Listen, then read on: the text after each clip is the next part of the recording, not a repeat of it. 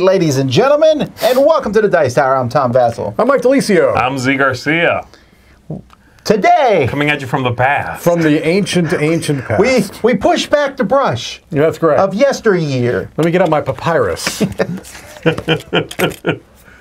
So, quick shout out to people in chat.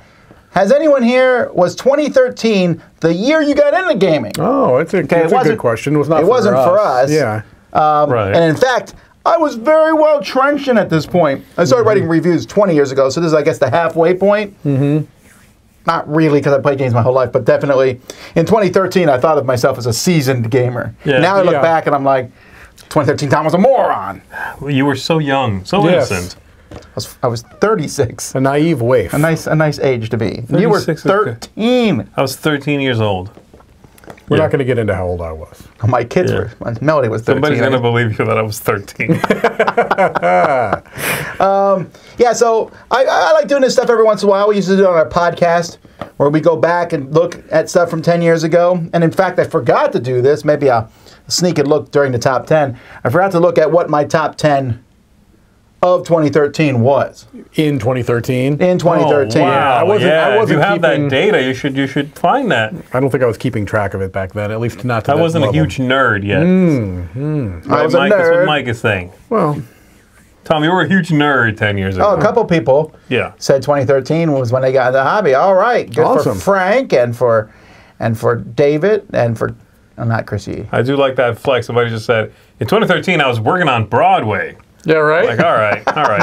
all right, humble brag. That's I got back you. when I was in the movies. I'm sorry. I was uh, on the space shuttle They call at it that point. talking I- pictures back then. Talkies. I was doing the talkies. Yeah. See? So this is not going to be a list. I, I this was really. Sometimes we struggle with our list. Right. No struggling here. I just No. went through. It was like yes, yes, yes, yes. In fact, several of these are in my top 100. well, I It was going to good year. ask. I was going to ask you that. I I believe that for me, two of these games are in my top 100. Uh, four for me. Okay. Yeah, about four. I don't know. I forgot it already, but about four. So that's going to make the the second half of our top 10 very mundane and boring if you watch our top 100. But we're going to do it because if you haven't been keeping an eye on Dice Tower Fairs, this entire studio has no AC. Except for this room. except for this room we're in right now. So we're going to stretch this out. Let's just sit here and think about that for a moment. Let me moment. tell you a story. Let me paint a Talk amongst picture for you folks. Close your eyes. Let's get it.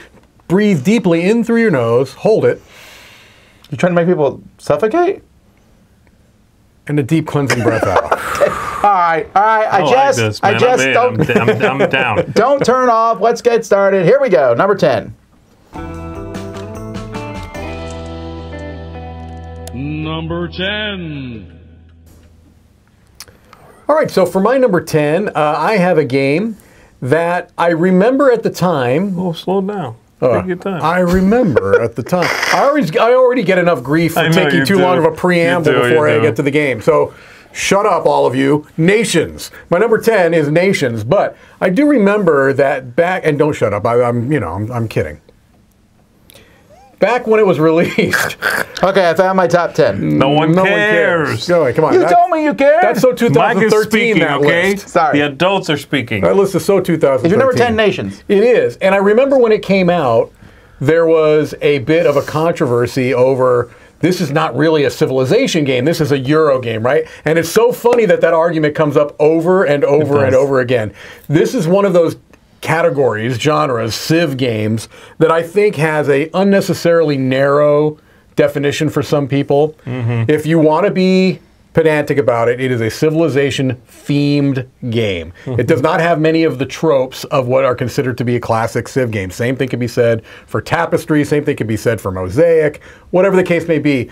I like this game because it has many of the things that you look for in Civ type games, and I think it does it in a bit more of a streamlined way, much more abstract. Especially the warfare is a very abstracted, uh, you know, form of how you would handle com- combat or conflict in a game like this.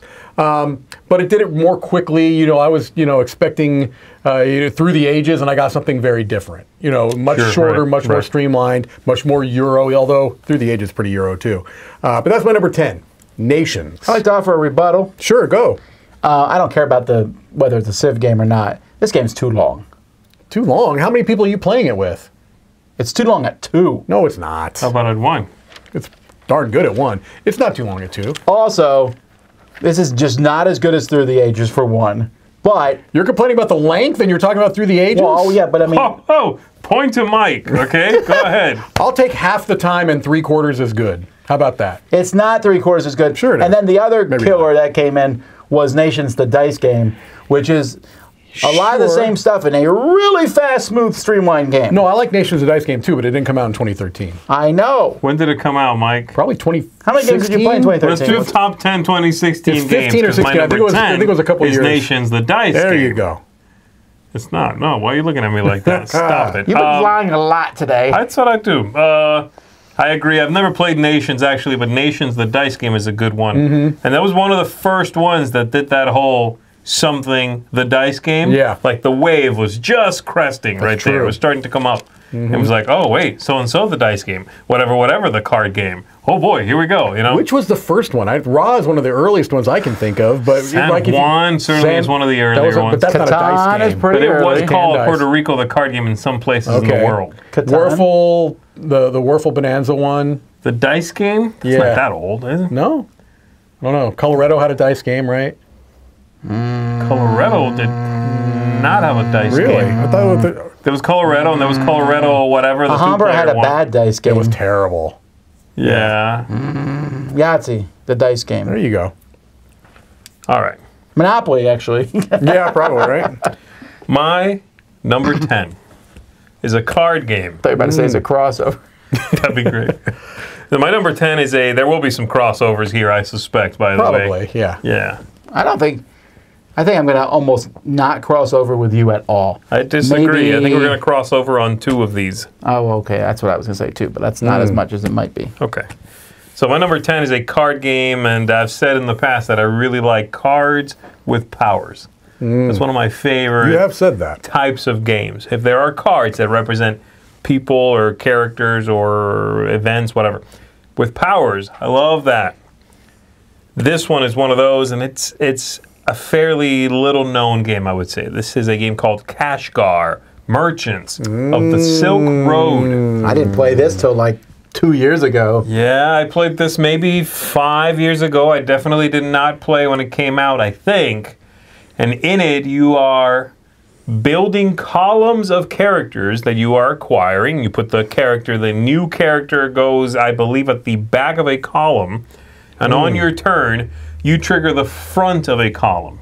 That character will do something for you. You are managing your resources.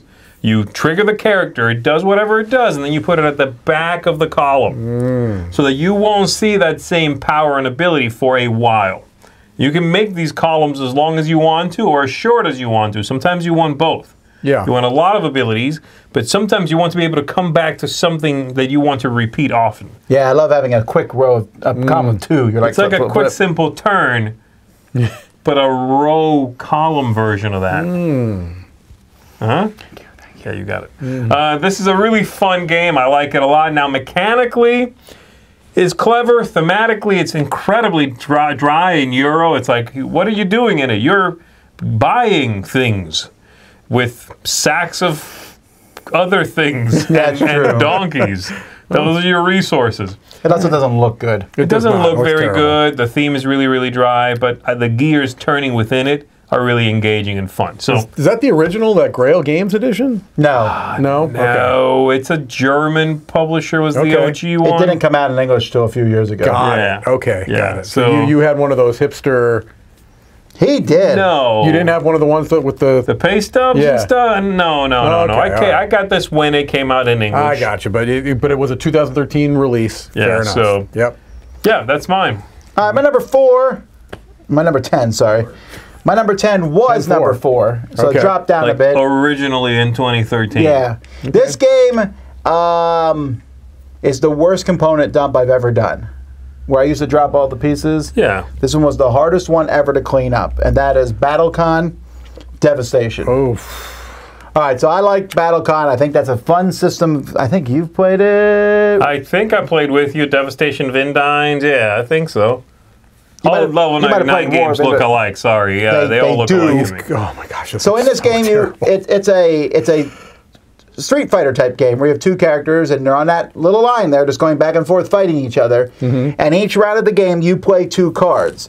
You have these basic cards that almost everybody has, and then you have the special cards for your character. You play two, then you cannot do those two cards again until you play some other cards. Okay. Um, but the cards, there's so many different combinations of cards you can play, and every character is very, very different. I like it. It is a bear to not not necessarily teach.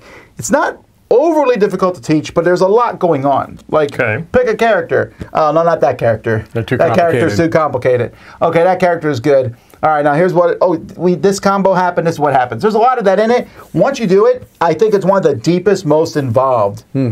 The reason it was such a bad component drop is that I got the game and there was tons of extra. I think this was a what you know this was a Kickstarter.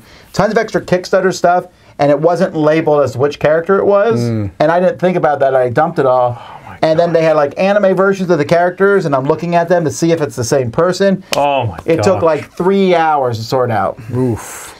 But um, That would be an interesting list. Top 10 worst component dumps. Games that would be Right. the worst if you component dumps them. yeah, and it's, I'm not necessarily blaming them. It wasn't their fault that I was a moron like that. Um, I it taught me a valuable lesson hmm. to always check. Like I, I the second worst jump was one of the legendaries. Yes, that's the one I'm oh. thinking of. Legendary encounters. Well, those you can legend- sort out by the bottom of the card if you're wearing jeweler's Yeah, glasses. yeah, the, the, Yeah. the loop. But anyway, it's a really fun fighting game. It's it's faded for me a bit. That's, that's why it's down to ten, but it's still very very good. Number nine. My number nine is a very. Um, I remember that the, at the time that I played it, thinking that this was what like the pinnacle of deluxe games. Nowadays, it would be thought of as a relatively standard Euro production, uh, but at the time, it was a big, grandiose production. Um, and it's a game that I think is a, a bit underappreciated. I don't see anybody talking about this game or playing it anymore. And my number nine is Francis Drake. Oh yeah, that's true. I really enjoy this game. It's a kind of a two-phase game where the first phase of the game uses what type of system, Tom?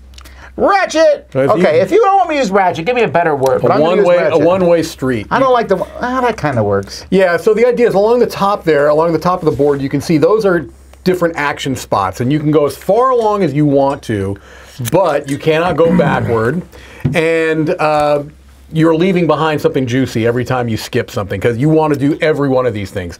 Some of them are giving you resources. Some of them are, are giving you some benefits for the second half of the of the round, um, and also there's you you a lot of times want to be the first one to to sail.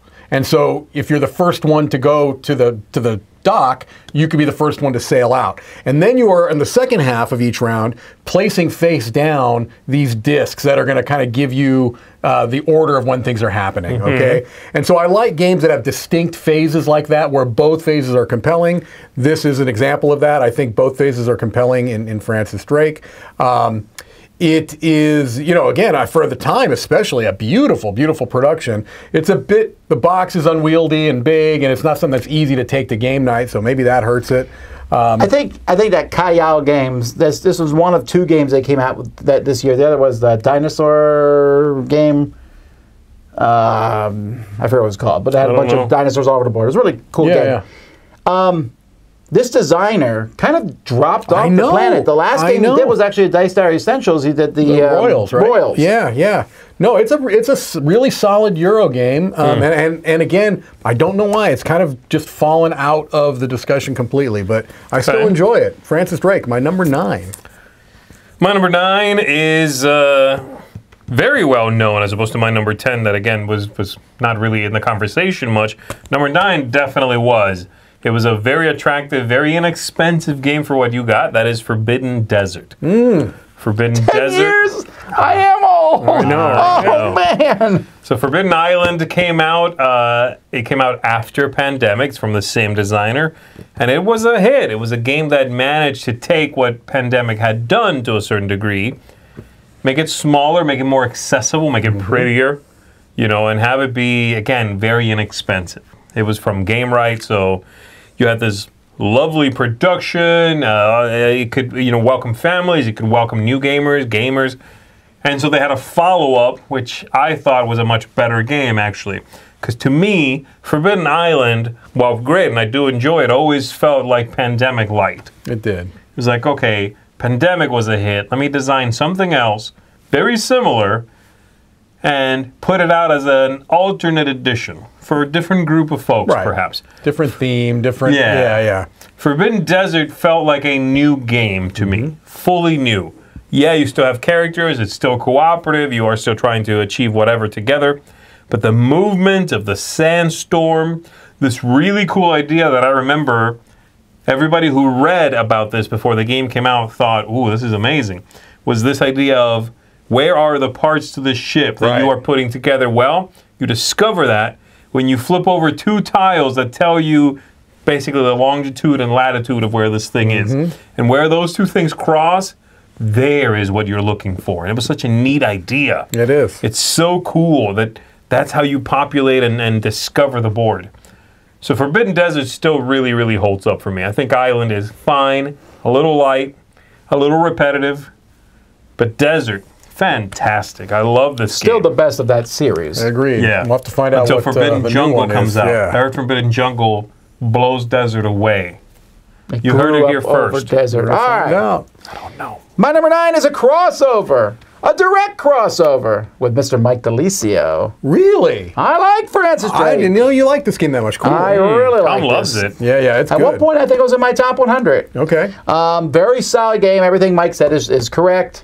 My only caveat, the thing that keeps me from wanting to play all the time, is that first half of the game, I think, is particularly better than this, or the first half of each round is more fun than the second half. You like that better than That the ratchet thing's fun. Going out fighting stuff's street. interesting.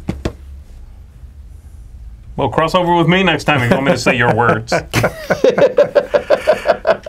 Um, I like the the, the the getting into the heads. That's the favorite part of the second half. Although I agree, I think the first part's You're a little right. better, but they're they're they're both good. They are, and you're right. The box is a little bigger than it needs to be. Mm-hmm. It, if, if, if I pulled this out, though, you were talking about component quality, and I didn't tell you who it was from, you might think it was a Queen game. You would- might it think really looks like Queen one. or even one of the Eagle, the, the nicer one of the early Eagle Yeah, Griffins, yeah. and I think that's because he worked with them Ah. and talked to those companies as he put this together. He self-published this and the dinosaur game, for Got which it. for some reason I can't remember the name of.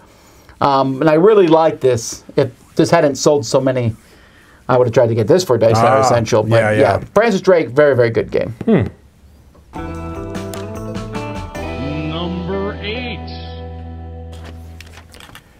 Remember how we said there weren't going to be a lot of crossovers? And you did uh, Francis Drake again? I did. No, my number eight is a crossover with Zee Garcia. I I think everything he said one. just one step higher. Uh, Forbidden Desert. Yeah, it's a fantastic game. Uh, we're, we we've talked Guys, about it's supposed to be a slower list. I know, right?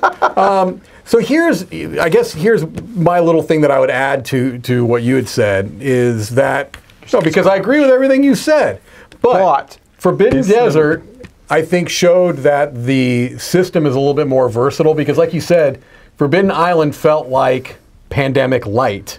This used those same kind of things, but it showed that it could be much more dynamic because this is a more dynamic game, right? You've got the the moving of the sand, like you said, the, the different way you're, you're discovering stuff, um, and it didn't quite have that. Um, I don't know how to put it other than This is the, so interesting. My number eight is Forbidden Desert. No, no, no, no. I'm not being sarcastic. I mean, Yes, you are. no, I wasn't really convinced when he talked about it, but what you said it made it so much He's more. more picking on me than you, is what. Ah, I see. Yeah, I he's see. using you to pick on me. That's correct. I'm a pro- so this is I'm a war by proxy, right? Kind of, yeah. Here we got the two great superpowers. I'm some little island somewhere that's being fought over. Thanks. Why are you making this about you? I was that attacking was- Because it's my number. I love how you just called us both uh, great superpowers, i.e., fatties, I- over I- the little island we're fighting. Okay, Japan Mike, was a get it. superpower, and that's a very svelte country. Yeah, my number yeah. eight is Forbidden Desert. I don't think Everything anyone Zee said. Japan a svelte country. Why? Why not? They're Who's the svelte country? Japan. They're very svelte. I don't think I've heard the word svelte this many times in the They're very session. live. They're very Live live. and svelte They're are both live great and words. svelte, yes. My So- number eight is a very live, very svelte game. Uh-huh. This is a game that has, ah, gosh, 18 cards, I want to say. Maybe fewer than that. Wow. 15 cards and a few coins. That's it. That's everything in the game. It's Svelte. this is a game that Tom, at the very least, I don't know about Mike, but Tom despises. Oh, is it a party-ish type game? It's not a party-ish Okay. type game. Oh, is it that dumb game? I, It's that dumb game. what's yeah. the name of that? I can't think of it. Oh, what if I show it to you and you try to pronounce it? You it? taught it to us live. I can't read your writing. Kobayakawa. Kobayakawa. Oh, okay. You taught us this on a live. My writing is A live flawless, show by one the way, time. okay? That is Well, very actually, this- svelte writing. This is not that much easier to read. Kobayakawa. Why are you mixing Kobayakawa. small and capitals there? So this is a little bit like a. This is from uh, originally, by the way, Oink Games. Right.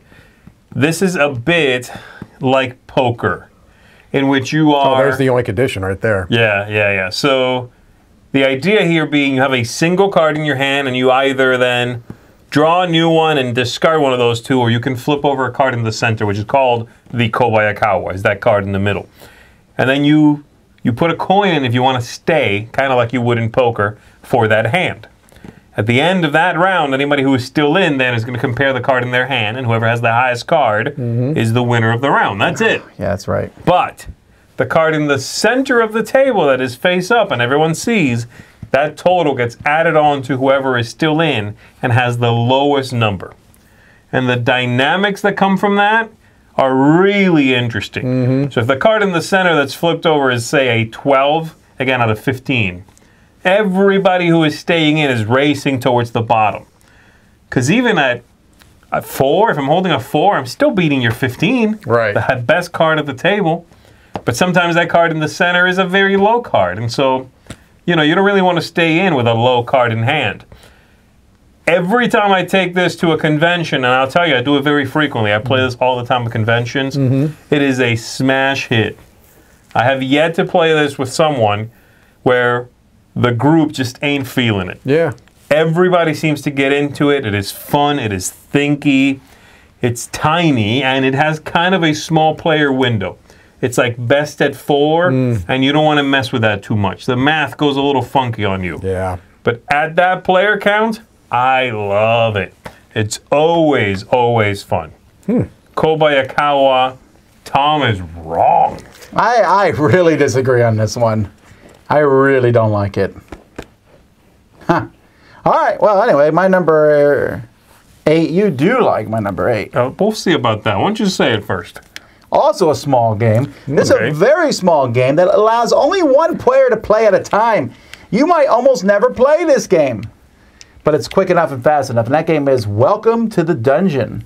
A couple of yellow games in a row that are. that like- they- Well, you know what? Two Oink games that are brought over because this was Gosh, Dungeon of you're Mandom. right. This is Tom, Dun- this was copycat. Dungeon of Mandom first. Iello was definitely really trying to make a lot of little that's games at this point in time. I like Welcome Dungeon, or if you see Welcome Back to the Dungeon, they're essentially the same game with just different stuff in them. You are there's a each round you pick a one of these heroes, a mage, a warrior, whatever, to go through a dungeon, and then as a player, you are taking away one of that hero's piece of equipment, or you're adding a card to the dungeon, or you're out. Once everyone drops out except one person, that person has to go through that dungeon, flipping the cards over one at a time, and with the equipment that's there. And it's always usually by the skin luck of your teeth. It's yeah. a push your luck game, and you're sitting there trying to think what everyone else played. You know, everything you take away means you're staying in the round, making it harder for you to go through. I really like it. It's a fast, little, fun game. So funny that two Oink games brought over by Iello are both on your same thing there. That's Well, I will tell you that yeah, uh, I, I think Oink was a little stronger at this point. I, you know, if, if we Hey, listen, yo, take it easy. that's one of their good games. yeah, back then we didn't have to justify liking Yeah, their we- games. Yeah, games didn't true. need a soundtrack back That's then, true. Mike, okay? They were just good on their own. Well. This was well before the days of Tomato Motto. Um, oh, let's not talk about that one. so, yeah, but I don't know. This this was a really I like clever this game. I like this. This is an interesting central concept that I'm surprised is not used in other things. This idea of kind of like this weird reverse betting, mm-hmm. like I'm gonna stay in, Right. And therefore, I'm making myself weaker if I'm the winner. yeah, yeah. It's weird- did it with a dungeon crawl little game too. He did? Although I forget the name of his game, but yeah. Oh, but it's that idea of, oh, I can run up the hill remember. You know. Oh, I do remember that. Yeah, yeah, yeah. Where you were boasting or whatever, right? Yeah, it was a About- boasting thing, but I can run up this hill with a backpack on. I can run backwards with it. No, you're, you're like hobbling yourself more and more. It's a cool idea. Yeah, it's smart. It is. The only slight disadvantage of these games, like I said, is Mike could just every time be like, I'm doing it, I'm doing it, Mm-hmm. I'm doing it. And he would lose, and I might win because Mike failed You more don't than get me to play winning. though. You Yeah, don't get right. to You're still playing a little bit, but yeah, it's fun to go through the dungeon. Anyway, welcome to the dungeon. Number seven. My number seven is a game that is a variation of a classic card game, specifically Patience Solitaire, the Patience version of Solitaire. My number seven is the very first Kickstarter I ever backed, I believe. I believe. My number seven is SOS Titanic. So this is Bruno Catala and Ludovic Maublanc. This was a Kickstarter? It was. It was like I, if it was not the first, it was the second. Uh, this or, or Dungeon Roll. I don't remember. It's a Ludonaute uh, production. But this is essentially the patience version of Solitaire with special powers.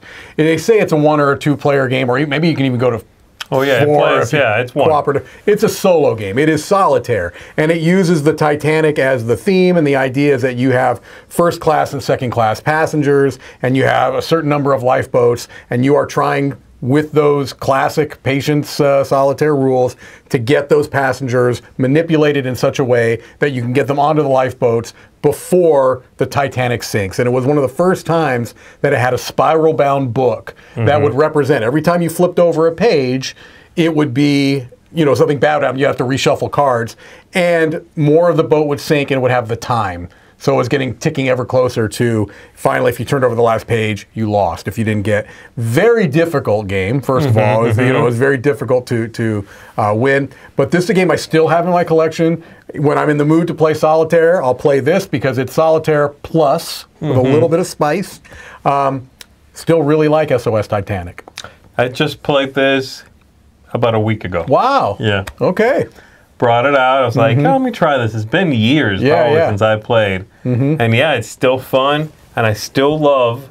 This is silly because the game is clearly abstract. Yes. But I love the the cab, the sort of sections of the ship Yeah. sinking. Right. As bad things, you know, as time time goes by and bad things happen, you flip over that page and there's that new gorgeous illustration of the Yes. ship sinking more in the time of night at which it Yep. it would have been at that point. With So the you just cabin played gone. this? Yeah, like a week ago. And this didn't make your list. We don't know. Well, sometimes sometimes playing something kind of re-triggers how much you like it. yeah, yeah. I like it. It did not make my list, Okay. no, but it would have been 11 or 12 or 13. Okay. It was a strong year. It really Yeah. was. I could have made a top 20. I could have made a top uh, 25. I could have made a top 26. I can name that Oh, okay, too. fine. I can't do that. My number seven is Freedom: The Underground Railroad. My favorite game from Academy Games. This one manages to do two things very, very well. It is incredibly respectful of the subject Yes. matter and handles that with class. And it's a great cooperative game. 100%. That is dynamic and exciting and just a fun, good game. I really like this. And you know what? It's so different from so many co-op games. It really is. Because so many games follow that. uh, we've mentioned already pandemic, but so many games do have that pandemic framework Yeah. of do something good, do something bad, draw a couple cards, whatever. Like they, they follow a, a, a prescribed, you know, a, a script. This one doesn't.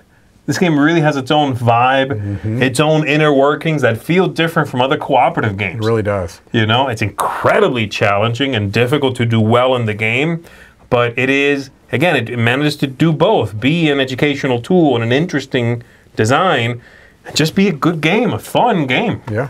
So, yeah, Freedom of the Underground Railroad, if you're someone who enjoys cooperative games, you like exploring different cooperative games, and this is not one you've tried, I completely recommend it. It really holds up well. Mm-hmm. That's my number seven. Almost a crossover with you here. Yeah. I definitely considered putting this on the list. But I, this game, like you said, is very respectful. I'm going to pick a game that's slightly less respectful to a few of our listeners, and I apologize to the English. But my number seven is 1775 Rebellion from the same company, and I Mm-hmm. Wow. I consider both These these, came out the games same actually. year, huh? they- Yeah, oh man, wow. this is if you ever say what's Academy's best year, Sure. it's 2013. No kidding. Yeah, that's two two. those I never are the played two best games, I think. Wow, really? I played. I haven't played this one. I played 1812. Very similar, although this one has more of an area control feature than 1812. That this is, I think, the best in the line. Although Vikings is close, the one that has 878 different Vikings. Yeah, yeah, yeah. Yeah.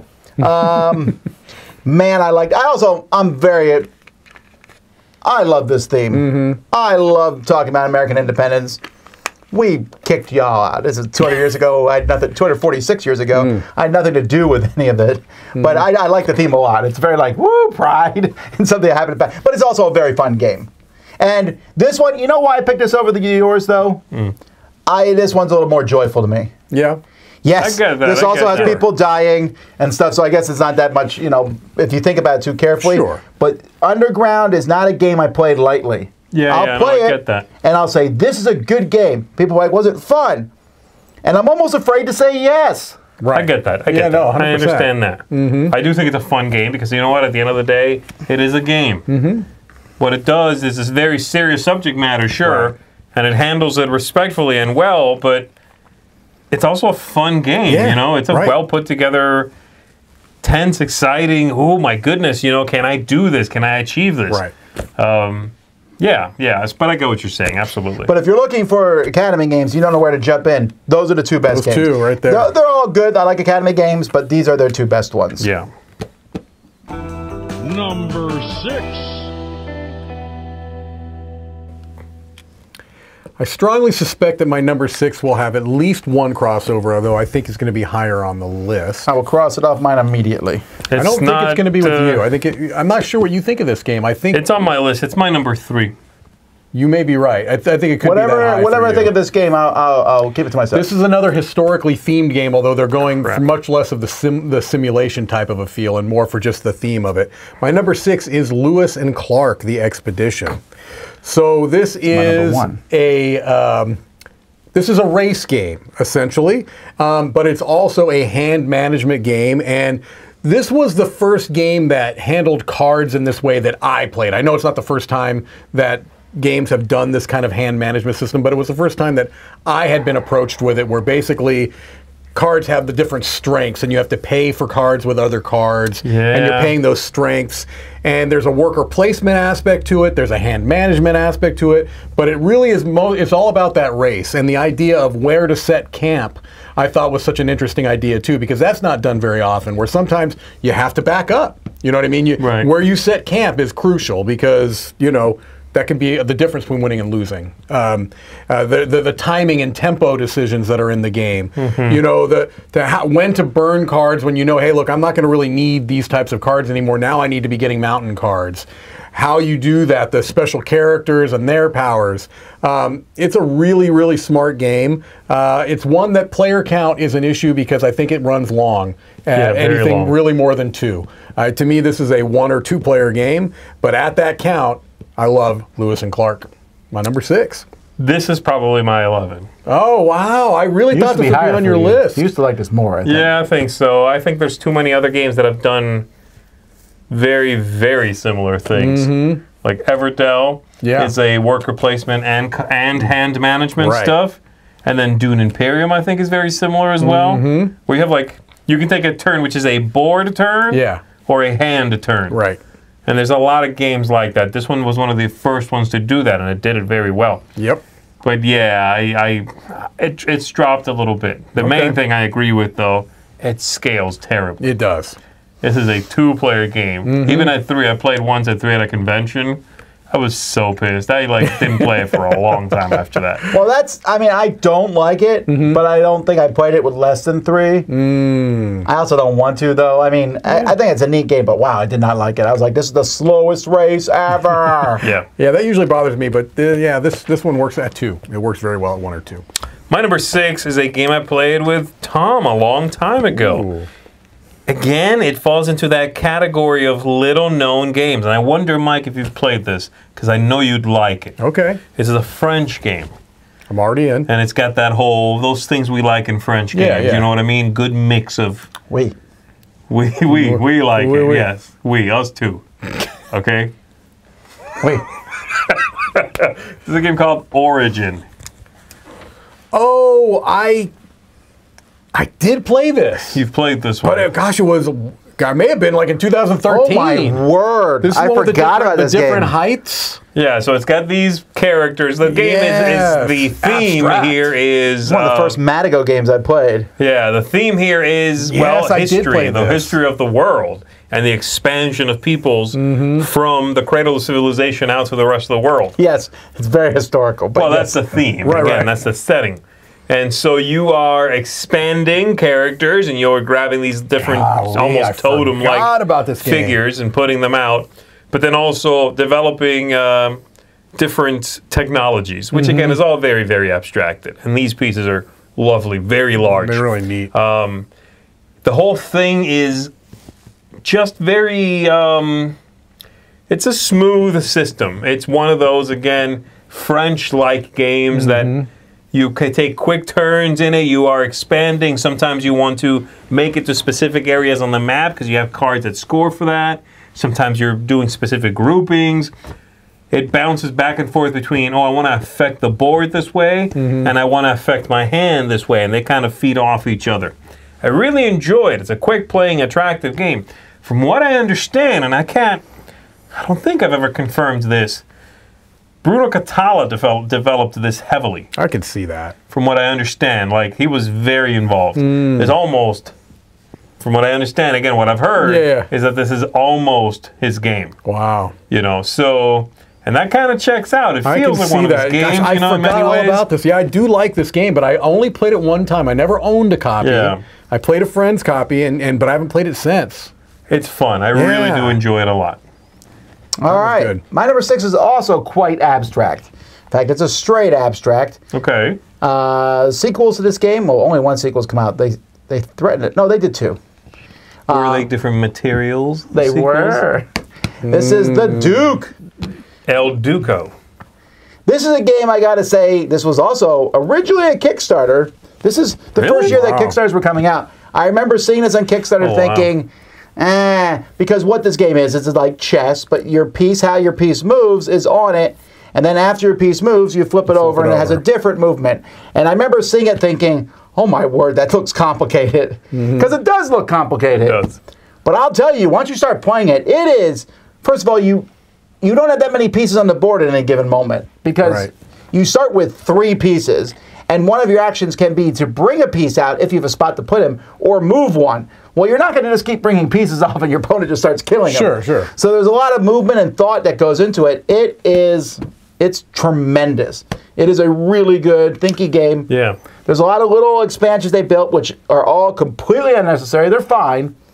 They add some flavor to it, but the base game itself is it's it feels like a classic almost. I never played the Duke, but I played the latest one with you. Jarl or whatever. Yeah. No, you he- no no. No, Mike no. played the the newer one. Right. We played it, I think, as a paid playthrough. Yeah, for- yeah. It was a pro- Okay. prototype. And What was it? It was red and white. Yeah, I can't remember what it was called, but it was the did same it have system. a like a shogun type of setting was it a japanese I setting don't, I don't even remember, honestly. I mean, I Someone remember- tell us what we played. I remember, it was fun I because the enjoyed theme doesn't really game. matter that yeah, much. Yeah, but it was yeah, it was the same system of tells you what the piece does, flip, it Flip over. yeah um I never played any of the other ones. I like the Duke though. It's been many years since I've played, but I agree with you. It's it's a really solid abstract game. Yeah. The sequel is the Jarl, which came out. The Jarl was good, but the Jarl is more about hand, very, very close combat. The Duke lets you do a lot more sliding pieces, Yeah. which I really like. I like sliding across the board. It's, Yes. it's fun in chess. If you like chess, I think you would like the Duke. Honestly. Yeah, I think so too. Yeah, and it's almost yeah. It's some I think Jordan mentioned Onitama. That's kind of a, another. The only time I do, I, I, I like Onitama better, Mm-hmm. but yeah, there's definitely a category of these games: Onitama, the Duke, Right. Uh, the one from David Wilson um, with the chips, War Chest. War Chest, Oh, Yeah. gotcha. um, stuff like that. So, Mm-hmm. all right, well, that's the Duke, my number six. Number five.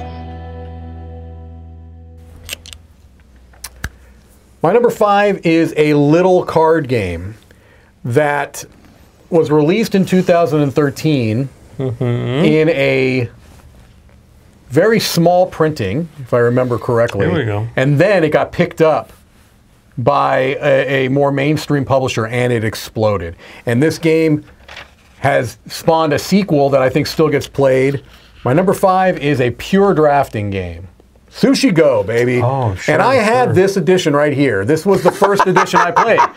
So, but this was Adventureland Games. This was David uh, or uh, Phil Walker Harding, right? It was his company, it's I his think, company, his brother's company. Adventureland Games, yeah, Um, yeah. That was the version that I had, and I loved this. And I had this game, and I everybody I could find, I was teaching it to, whether they liked games or not. This was a game I could play with families, right? Sit down. That's right. You're gonna learn a game. This was the this was the game at the time that I was never scared of introducing to people. And I don't play games. All right, well, give me five minutes. I can you can play, and and it went over like gangbusters every time.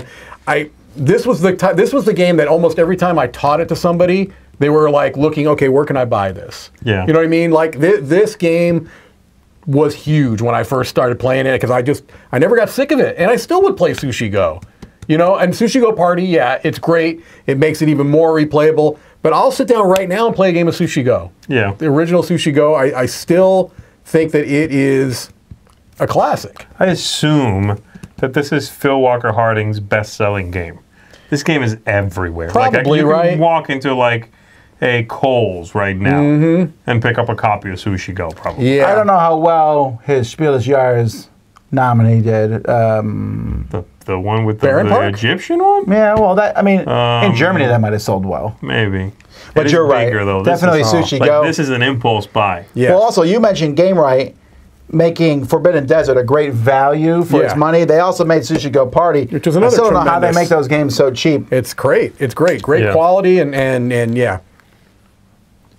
Decent quality. Well, for the money, Tom. I for the money, it's, yeah. it's still only decent quality. It's Yeah. not great. Those cars get beat up, but Yeah, yes. but it's like ten bucks. Buy another one. and another. That's right. Another one. It's a disposable game. Let's talk about great quality, guys. All right. Great quality. My number five uh, is the only game I've ever. No, that's not true. Thrown up on. No, no.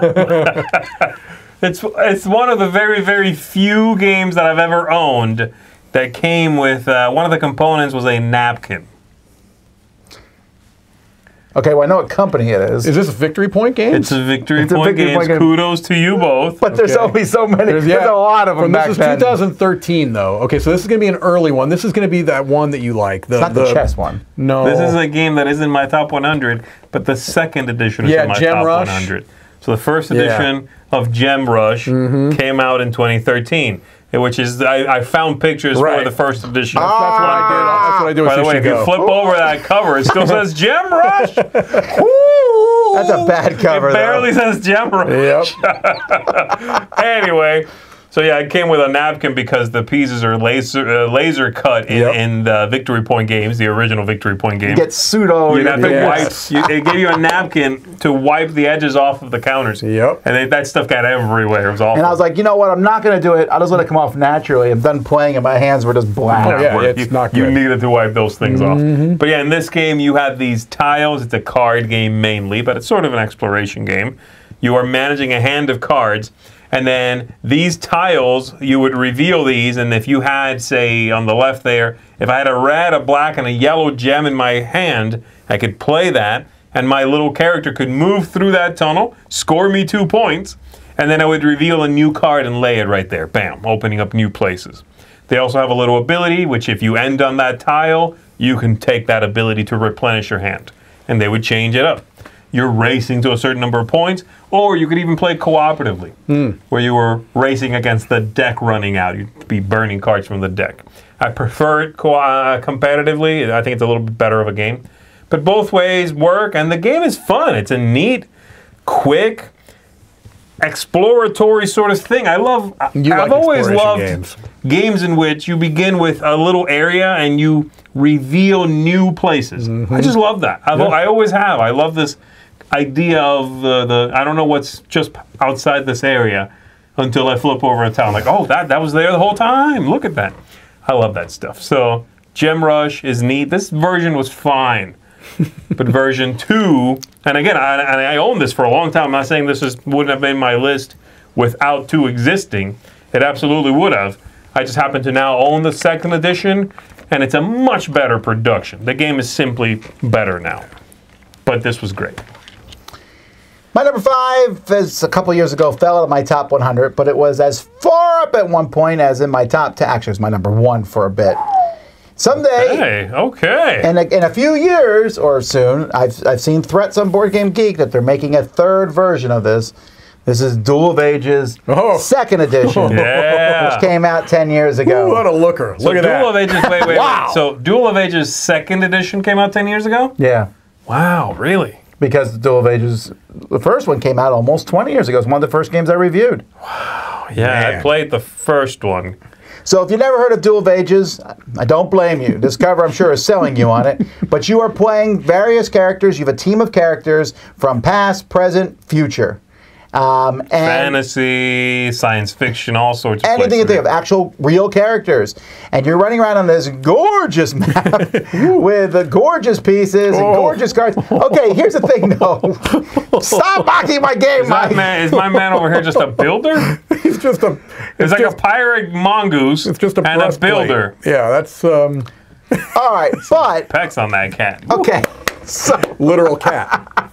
So here's the thing, though. This game, you look at those cards, you could. There, there's millions of combinations. You have these characters that have like 15 stats. Are on those their icons sides. on the right, Tom? They are. They're all the same. I mean, they're just different numbers, and the color helps you remember if a number is good or not. They also have special abilities. So you have Attila the Hun running around with a bazooka, going up it. against that uh, minor big peck dude uh, who happens to have a machine gun Uh-huh. against I don't know Davy Crockett, who's with uh, a futuristic laser gun. You know, Sure, right, right. and you're running around and you're fighting each other, but you're also doing things like driving a spaceship, going bowling. Yeah. You're the it's, it's strike three. It's bizarre stuff. It Yeah, really yeah. is, and it sounds love that stuff. terrible, but it really does come together in a very very fun way. It really does. I I wish with all my heart that he would, the guy who owns the, ca- the company, would take this, work with other people, get good artwork, streamline lots of parts of the game because Yeah. the, it's so much fun. It was my number one for a long time for a reason, the first edition, because it was so much fun. Number two, he doubled down on the complexity. I'm reading the diaries for number three, and he says he's streamlining it, but as I read these diaries, it seems like it's more of a sideways thing. It's not making it necessarily more complex, and it also doesn't look much better. And oh man, it's out. It, Duel of Ages 2 was made for fans of Duel of Ages. I wanted Duel of Ages 2 to be made for everyone. Right, right, right. Um, but it is so much fun. I like it, the anachronisms in it. Yeah, Kabuki Kid says I like that. Me and Zee were just talking about that. That's a, You something do. I like doing. Sure. I love having all these different people with different weapons. I love the the comedy that I see in my head. Mm-hmm. The Bill and Ted movie. That's basically Right, what it right, is. right. And I love that stuff. And I like the different combos. Like when you have someone with a like an the who's that sniper from World War One? Uh, what's the guy who's really good at sniping uh, World War One? Sorry, The I, Red Baron. I apologize for asking you. Uh, no, I'm, I'm seriously confused at who you're talking about. World War One or two?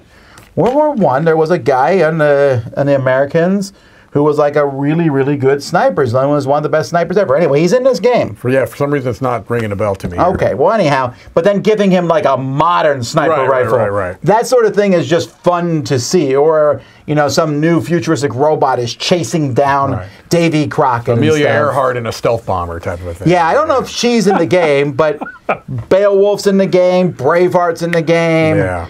There's just a lot of stuff, and I just like that combo. Again, I can see how the idea would be amazing. Yeah, it just I, I don't push this on people. I don't.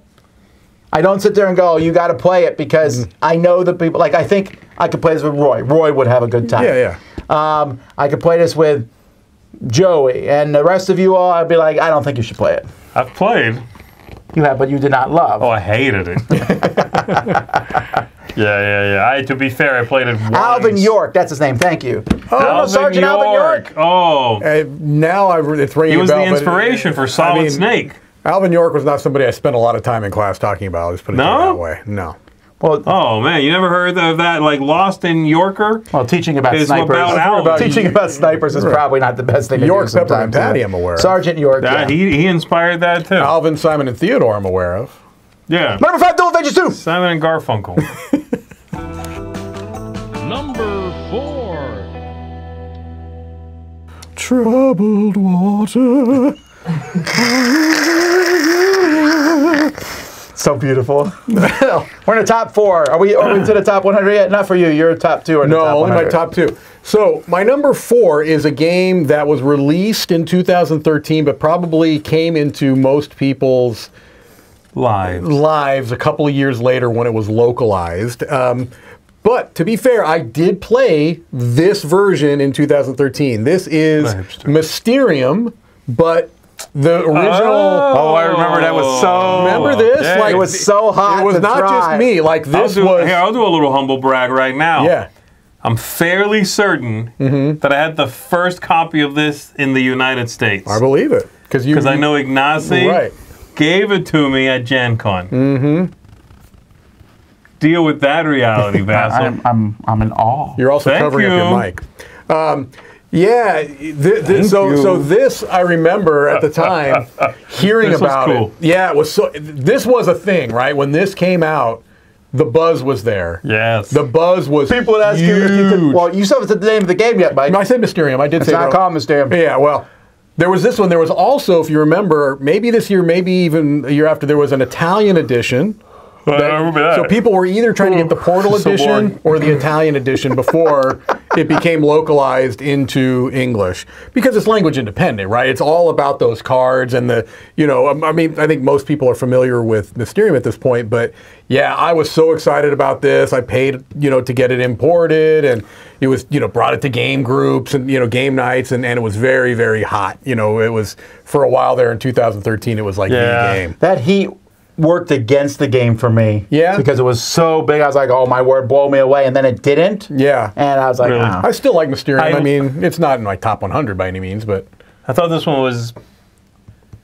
This one was a lot moodier than when they printed Mysterium. I agree. Mysterium went kind of a little more cartoony, a it little went more, more Scooby Doo. Yes, Yeah, Mysterium went a little Scooby Doo. This one felt like darker, a Polish, gothic. go- yeah, gothic Dixit. yeah, You know what I mean? Right. It was like Dixit with a story about ghosts and murder, mm-hmm. and you could tell that that was, it was creepy a It little was, bit. you yeah, know, yeah. Mm-hmm. it really it worked. I thought, and they Disneyfied it a little bit. right. They changed up some rules. They, did. made it a little more, you know, uh, gamer friendly or approachable.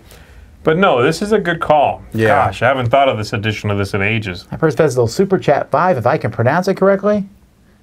That's not happening, Tom. Yeah, I just give it up. Sayemnichi Domastu. I'll give you five dollars to never do that again. okay, how about that? Where's my wallet?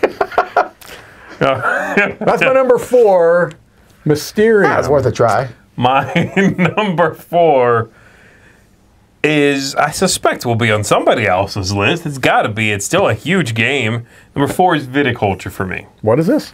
Viticulture. It's this little game about winemaking. Not familiar. You might not have heard of it. Uh, It's uh, in the Scythe universe. Uh, way in the back. Where's the a map? neck. Neck somewhere behind right, yeah, mountain. yeah. It's behind the house. Mm-hmm. Yeah, viticulture here, of course, is one of the uh, Stonemaier games. Uh, one of the I don't know if this is one of the earlier ones, but it's, it's yeah. I guess is, can- yes. he doesn't have that many games, is the thing. Yeah. So when you say one of the earlier ones, I guess it's one of the earlier This This ones. was his first game, wasn't it? Was it the original Yeah, I think one? this, Yeah. and then Euphoria came after. Euphoria was after Yeah, this. yeah. Yeah. Okay. So yes, it was one of the early ones, and um, yeah, it's just sort of an optimization puzzle kind of game in which you are growing these grapes, harvesting them, making wine, selling that wine, managing a Mm-hmm. lot of things.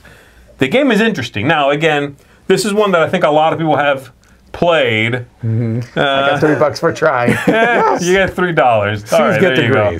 A creative Nico. Five for trying to Thank you. pronounce. Okay, so you got eight bucks. There you go. Uh, instead of five, you got eight bucks. That's great. This is like, not, not like my childhood. Never mind.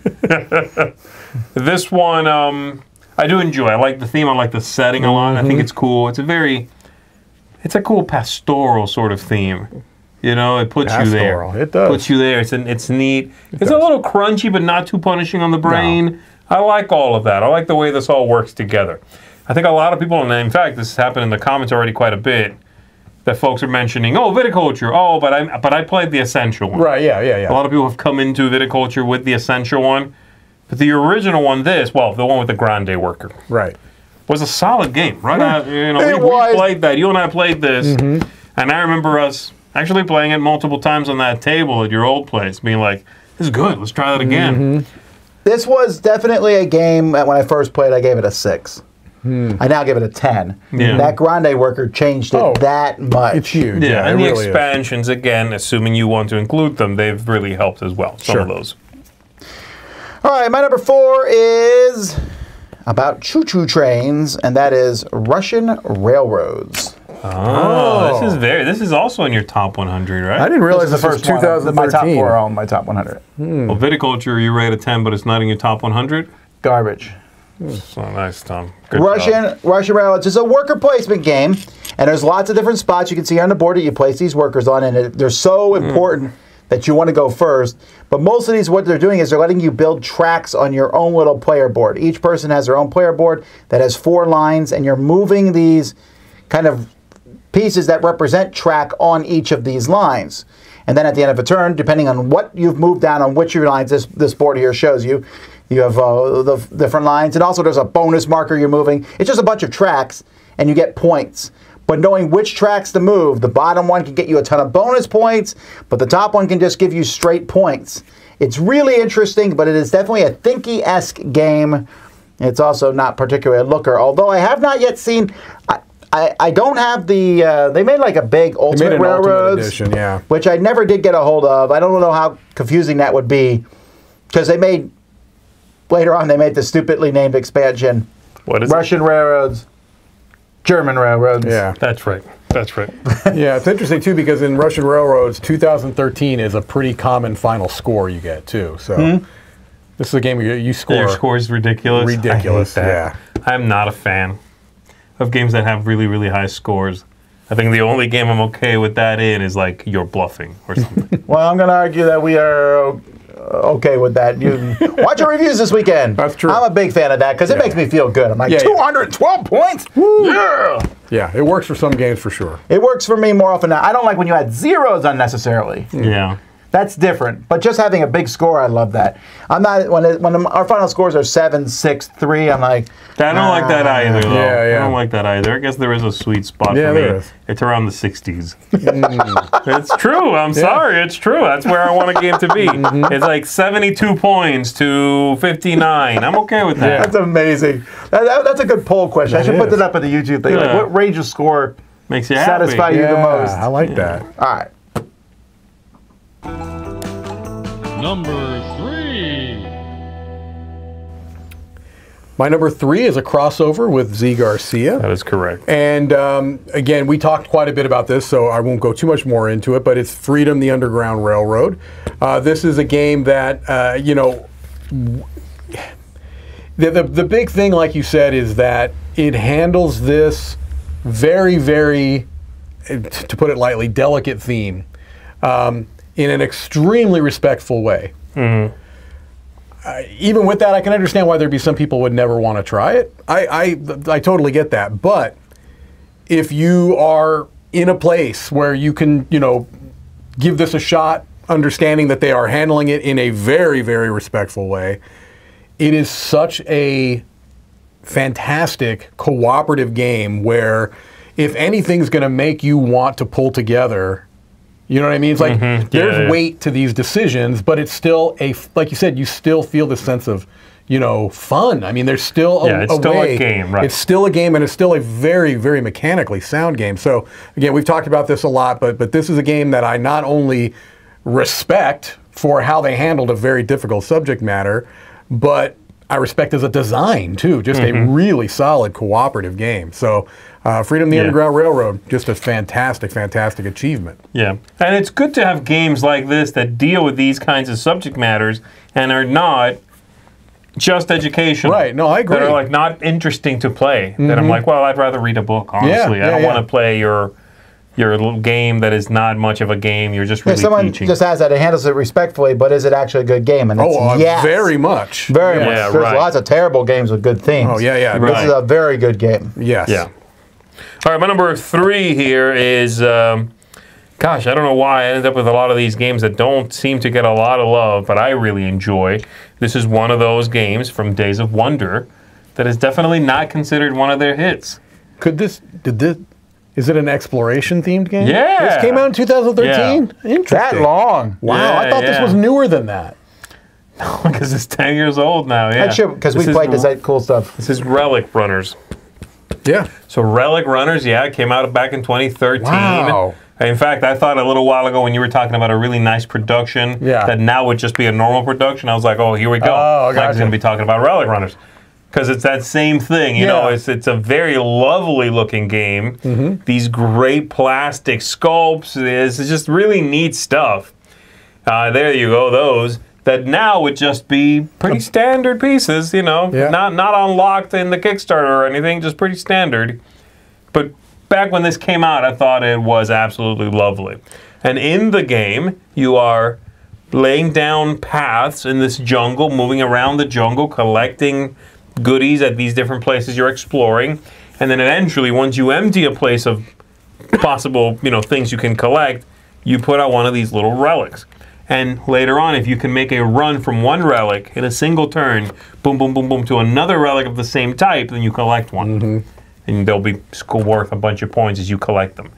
This is a game that has a lot more going on in it than you think. I think that may be what worked against it. I this think was so, heavier too. than most Days of Wonder games. Yeah, people seem to think like, oh, Days of Wonder only made really light games until mm-hmm. Five Tribes. No. I beg to differ. I Yeah. think Relic Runners, while not a heavy game, mm-hmm.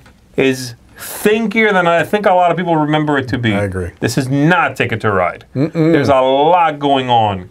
You have powers you level up and then unlock and reset, and different things you need to manipulate and consider. And there's plenty going on in this game. This is one of Matthew Dunstan's first designs, isn't yeah, it? Right. Yeah. Yeah, this and Elysium Right. kind of came out back That's to back.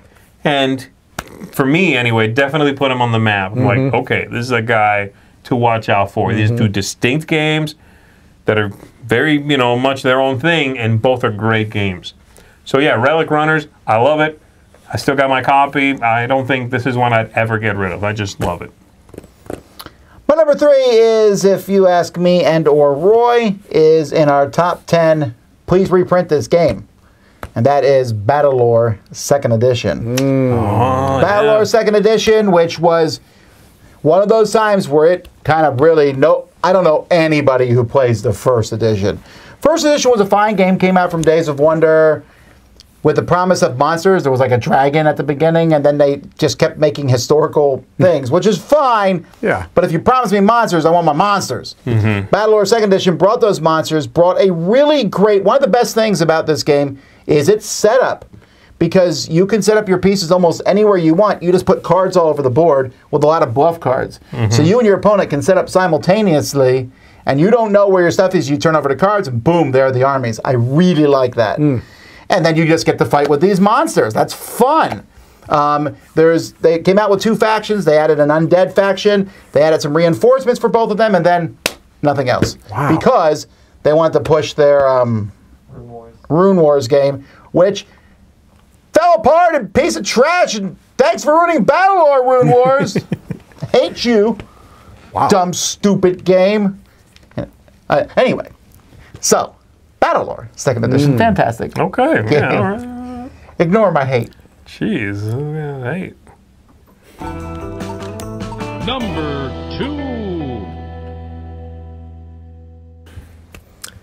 My number two is a, I would say, almost entry level pick up and deliver game. I love this theme. It's an, un, uh, not, not, I love the theme. going, let me, let me You do. interrupt you for one Yeah. second because I was going through the 2013 games. Yeah, yeah. As soon as I came across them, like, here we go, Mike There we go. time, baby. That's right. This is uh, a, a theme I love. It's a mechanism I love. This is Cinque Terre, the five villages. Yes, baby. Tom and I have so already many had this amazing discussion. games that came out in 2013, this. and you're putting this I love in number my top so 100. Yes, this is one of the two games in my top 100. This game is fantastic. You if just you put like this ahead the- of Viticulture. I haven't. No, that was on Zee's list. Oh, was on Zee's list. To be fair, I also put this ahead of the viticulture. Yeah. This is great, okay? This is my number zero.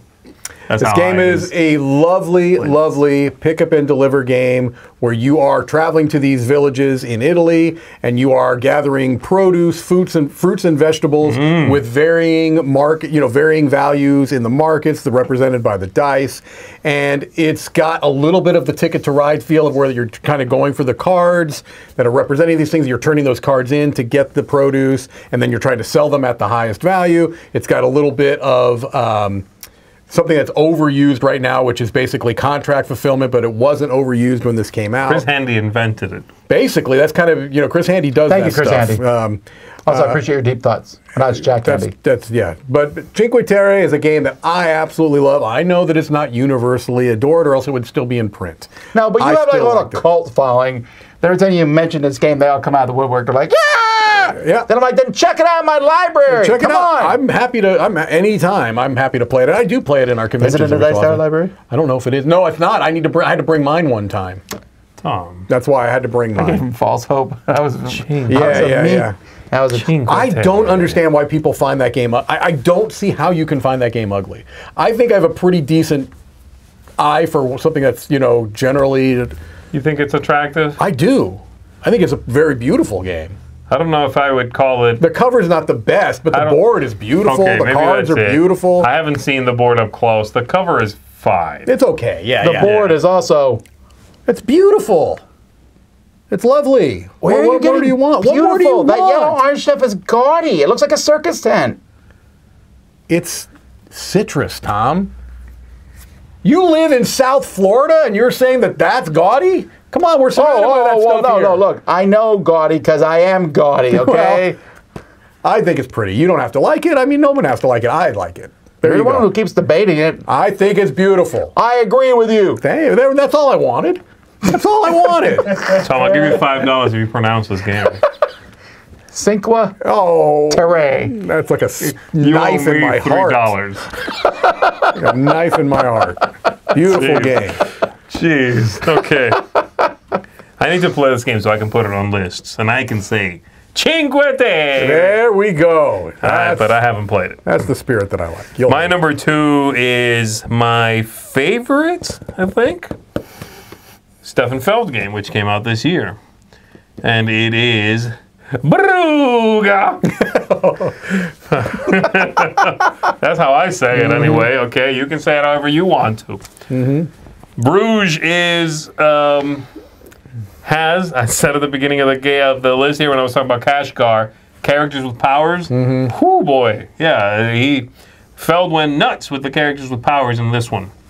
There's Yeah. a big old stack of cards in this game, and every character, if I'm not mistaken, has not just unique artwork, but a different power. Yeah. They all have unique powers in this game, and I really like that. I love this idea of at the beginning of the game, I've got my hand of cards, and I look at it all and I go, okay, here's what I'm going to try to do. Mm-hmm. I'm going to try to employ this guy. He's going to make it easier for me to use red workers to whatever, whatever. And so I just have to make sure that I have a good influx of red workers. Ooh, this guy's good with that. I'm going to employ him. And you start building your little engine, your little combos as you are doing all of that, trying to get a few points here and there, but just run your little machine as effectively as you can. I really like that. I always have. I enjoy those kinds of games. And Bruges is a good mix between that and then really robust, tried and true point engine stuff, Feld stuff, what he's normally good at.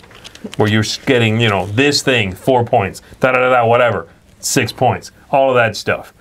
With a layer of fun that a lot of his games don't have, honestly I agree. you know, because they're missing that personality, that that ooh combos.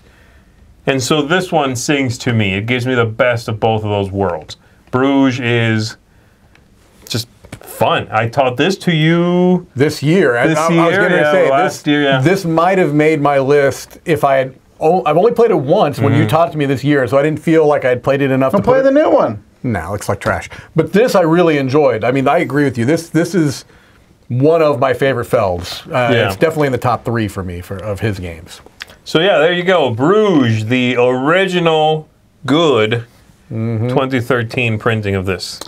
All right, my number two is, if I might be a bit of a spoiler, our only, as far as I can tell, three-way crossover Oh, my. here, and that would be viticulture. And again, this is kind of weird because this is not on my list from 2013 because I didn't think it was that great of a game. I thought it was okay at best. But then when they changed that rule and then added the expansion, it busted the door down. It was so much yeah, fun. yeah, This is my version to play right here. The one in this picture. Oh no, no, that's only the two seasons, right? Yeah. Never mind. That's just Or you like essential. the four seasons? I do like the- Four Seasons, yeah, both the hotel, the restaurant, and the game. um, but I also like all the other stuff that's added. You can see some of it's added here in this picture. Great game. I know nothing, and you, get- Mike can confirm this. Nothing about wine. Like less than nothing about wine. You know it's a liquid. Yeah, that's true. You got to give yourself some credit. Two percent. If you give me a milk. wine That's test, milk. Two percent? No, it's, it's more than two percent liquid. It's I'm back to zero. liquid. What about wine? Anyway, super fun game, but we'll talk about that in a moment. And finally, number one.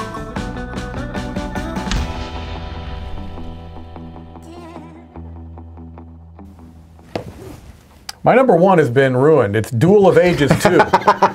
There you go. It's that cover that did it. That's right. No, my number one is viticulture, of course, but but like you, this is almost a little bit of a cheat because the the essential edition is the way to play it.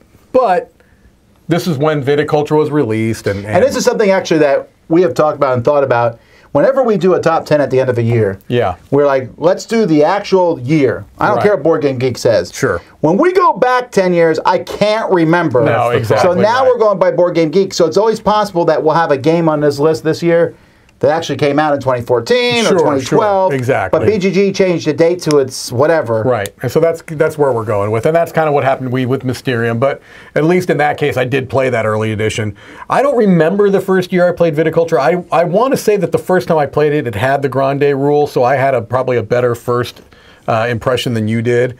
Uh, but I liked it from the get go, and then when you add in you know the the Tuscany stuff, that's even you know beyond. But this is still even just Viticulture with the Grande Worker, especially Essential Edition, is uh, my favorite game of the year, and in my top. Uh, I'm trying to remember what it was. This, you know, but it was it's high in my list. High on my list of best games of all time.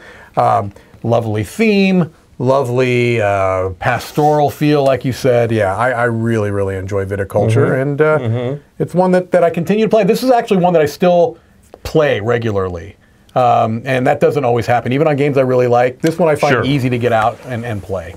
I Yeah, don't have to. some I don't have games to you spend 40 respect minutes. and some games you play, right? Right. This is one I play and respect. Like Cinque Terre. At you Cinque play, Terre. but you don't respect I don't respect it now that Tom has called it uh, gaudy. Yeah. Oh, my word.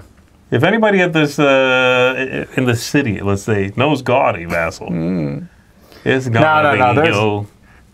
You drive back and forth to work. I am not the most gaudy person You are in this not. city. All right, you fine. are not. Fine, fine. I'm, I'm very mild You're, comparatively. you're not even. I'll in the, give you that. You're not even the top 10th percentile uh, at all. But Viticulture, lovely game. Obviously, all three of us put it on our list. That's the only three-way crossover Yeah. then.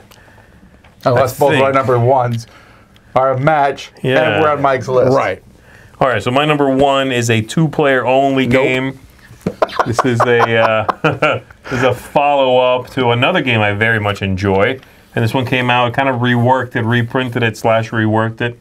This is the year that Asante I came thought out, that's what you were talking which about. is a Okay. follow-up to Jambo, a two-player Kosmos two-player line game. Mm-hmm. And uh, Asante here, of course, same deal. It was a follow-up to that. Still a two-player game. In fact, you could combine them, mix things in, but both of them certainly stand on their own. And this one, uh, it's an economic two-player game in which you are playing cards. Those cards you see there in the center with the salt, the pelt, and the tea, I think it is.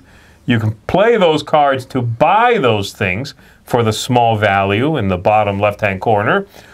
And you get those goodies and put them out in your little board. You know, you have a stand, your market stand.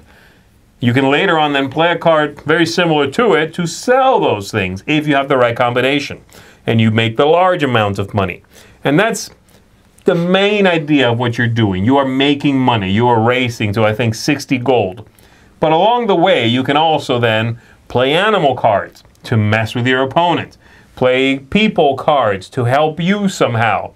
And you can even, there's a category of card that stays out on the table and gives you repeatable actions. Items, right? Mm. I think they're items, yeah. And so you can utilize those on your turn. You can spend an action to utilize that, and it'll do something. There's a lot of interesting cards in this game. Are the meerkats a good card? Because I just would want to play the meerkats. The so- meerkats are one of the best cards in the game. The only card better is the donkey. If there was a donkey card, it would be better. I don't think there's such a might thing. be, I don't know. Maybe I don't know. Could be. Um, So yeah, Asante is just a wonderful two-player game. It feels very different from a lot of two-player games. Yeah. It's the economic bend to it is really kind of what makes it a little bit different. And it's, and it's very in your face. It's not that you're doing your thing and I'm doing my thing, being economic. Not at all. I'm, I'm messing with your stuff. You're doing it back. But then under all that, there's this engine of hmm. churning money as quickly as you can. That's how you win. And I really enjoy that. Those two things meet together in the middle very well. That's my number one. My number one is it's not a surprise, but I'm surprised it's not like it didn't make your top tens for either of you because I know you like it okay at least. Well, like and Okay. It's the biggest game to come out this year. Uh, Viticulture is a bigger one in the long run, but this game, the sequel to Agricola, Caverna. Yeah, number no, one. no. I know you like Caverna. You know, I do like it. I do. you like I it, think I Alfaro? rated a Mm, seven. Fine. Yeah. Yeah. say. Yeah. Yeah. I like it. I like it. I love it. Also, I am not hitting the best covers of all time list with, with my, with my games on this list. And th- the thing is, if you look at this, this looks unbelievably overwhelming. And it's really not. I can teach this, I just taught it to my kids fairly easily. Because you just are taking stuff. It's all about taking stuff. Take some, It's grow just some that there's so much out there at the beginning of the game. It just seems Right. know, Well, it also remember only one card. It does. uh, That's a clever thing that not many games do. Oh, I they add an action space I every agree. turn. Yeah, yeah. You got to that. That keeps it from being overwhelming. it does. Yes. Give, let me give you new options each turn, not all in ones at the beginning of the game. I agree. Mm-hmm. Right. Yeah, this is good. This would be top 15 for me. Yeah, I think so too. I think for me, I, I got 11. I think would be uh, Lewis and Clark. Mm-hmm. Maybe 12 SOS Titanic, but this is in there. 13, Yeah. 14, 15. Yeah, it's in there. And I really like this. I don't. Several people have mentioned Glass Road.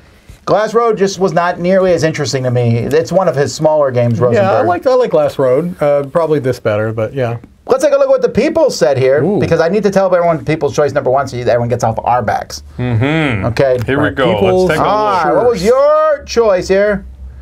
Number ten, Russian Railroads. Okay, Okay. Tom, you have a point. Yeah. Number nine, Concept. Concept is a good one. That I is a good love game. this one. It's, Yeah. it's it's barely a game, right? Right, it's more of an activity, but it's a really fun one. Mm-hmm.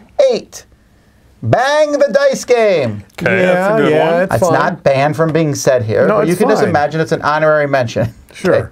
Number seven, Hanami Hanami Koji. I like It's this a good two-player game. It really is. It's people's choices feel that's nostalgia. There you Six go. Caverna, which I think is different than in 2013. I think this would have been in the top three by Oh, the time sure. it's gone by. Sure. Gosh, yes. This was huge. Number five, Eldritch Horror. Yeah. Sure. That I like Eldritch Horror, but it just dropped Yeah, a no, lot I- for me. That's why it's not on my list. Number four, Forbidden Desert. Point for you. And Holds me. up. This holds up. It's for me, Point Michael. for Uh, you. I had it higher. Me. Thank I don't you. care. But he said Thank five. I got you. the point. I said it louder. Thank you. number three, Viticulture. There we Mine. go. And number two, Sushi, Sushi Go. Go. So what- do you know what number one is? It's by far, I, I'm not surprised on this. It's very much a people's choice. It's definitely my number 11, actually. I'm not kidding on that. I like it a lot. It just didn't make the list. It's probably not on my list then. I don't know. It's, one, it's probably most critically acclaimed. It has a terrible cover, although which seems to be the, the Yeah. 2013. It is Concordia. Oh, I thought this was 2014 for some reason. Okay. yeah, yeah, Again, Concordia. maybe for you it was, yeah. right? But it definitely came This out was, in 2013. This was not the original cover. This is already the fancy cover. This cover. is already the. You're right, the you're The right. original now. cover was rough. So when I look good. back at what, so actually, let me tell you what the people's choice was in 2013. You have that data? Yeah. Oh, hit me with it one time. Number 10, Yeah. Dungeon Roll. This was a little game God. that Yeah, um, I, that was. I, Tasty Minstrel made like pallets of them. Remember, I was saying Kickstarter. That was either my one or two, and SOS was the Oh, other one. really? Yep. It's a terrible little game. Number nine, awful. back when Feld was popular, Bora Bora. Okay. Number eight, Spyrium. Remember playing that That- way, that's the Matt? one yeah, that Again? had from me. Ystari Games. That was not a bad one. Number In seven, between the two things. Yeah, you're playing between the things. Yeah. Francis Drake, number seven. Okay. Number six was Eldritch Horror. Okay. Okay. I was wrong about Caverna. It's number five. Okay. Number four, Space Cadets Dice Duel. Oh, which had the fastest fall in history because I actually liked it a lot. And the next year, they released Captain Sonar, Yeah. which just straight up killed this game. Mm-hmm. Number three, Bruges. Number two, uh, remember these are fans of the Dice Tower, Right. and therefore uh, nothing personal was number two. Ah. Nothing personal. Okay. And number one, Forbidden Desert. There you go. Yeah. Uh, for me, games that dropped out, number 10 was City of Iron. Okay. I like that a lot. Game. Yeah, that, that Yeah. dropped a bit. Yeah, Nine, yeah. Carnival Zombie. I still have not played the updated one. Okay. Eight, Police Precinct. I was a big fan of that cooperative game for a You while. were you, You were one of the few people game. who was all about that Yeah. game. Six, space. Six was space. Uh, seven was French Drake. Six, Space Cadets Dice Duel. I liked it a lot. Mm-hmm. Five, Kemet. And th- this is one of those ones that I think, for me, was an actual 2013. I was gonna say, and that would've on been on my BGG, list. it's probably 12 or 14. Okay. Got it. I got it. But it. at the time, that's when I played it. Four, BattleCon. Three, Duel of Ages 2. Two, this one dropped for me a lot. Level 7, Omega Protocol. Oh wow. Uh, this is the second or the first one. The second. This is Second, the one. I remember the first being not good. It was not. Straight it was, up not good. That was level seven. No, Escape Omega Protocol or something like. No, level seven Escape. It was about That's us the being first one, and it's some not weird good. cooperative game where we're just trying to escape. This one second is one was like versus guns all. blazing, Right. cool game. Yeah, this is good. And then my number one, still as it was then, was Caverna, the Cave Farmers. Mm-hmm. Also, big games we didn't mention. Um, Eric's number one back then was Pathfinder Adventure Card Game. That's when that came out. I played that when it first came out, but I I tired of that quickly. Krosmaster Arena came out that year. Yeah. Oh my Okay. gosh, The that was very- popular for a while. The very, very forgotten Trains and Stations, the little dice game from Eric That's, uh, Lang. Eric Lang game. oh yeah. really? Yeah. A big game that came out this year, Firefly, came out 10 years Firefly ago. Firefly was 2013, huh? It was Yeah. horrid. Uh, I liked it for the first few plays. I like it, it's just I long, it and for the I, first thi- few minutes. I think it's been killed by Outer, Outer Rim, Rim, by like- for sure. far. Outer Rim punched a hole in its thorax. Well, I, mean- would not. ar- I would not argue that. Yeah. All right, folks, that's it. We're not done with live stuff, though. Come back No. tomorrow. What are we playing tomorrow? Tomorrow we are playing Forsaken. Mm. As at 10 a.m. tomorrow morning, we're going to be doing a live play of Forsaken. I'm going to forsake Zee. I will besmirch you. How about that? Are these things in the game? I'm about to write your name on an ostracon. I'm going to write your name in the Book of Death. Hmm? I'm going to write your name in the Book of Death. The Book of Death, like the Egyptian, like Book of the Dead? Is that what we're talking about? no, because that will bring you back to life. I don't want to yeah, baby, I'm coming back. I've been ah. tricked. All right, we'll see you then. But until then, I'm Tom Vasel. I'm Mike DiLisio. I'm Zee Garcia. Thanks for joining us 10 years in the past.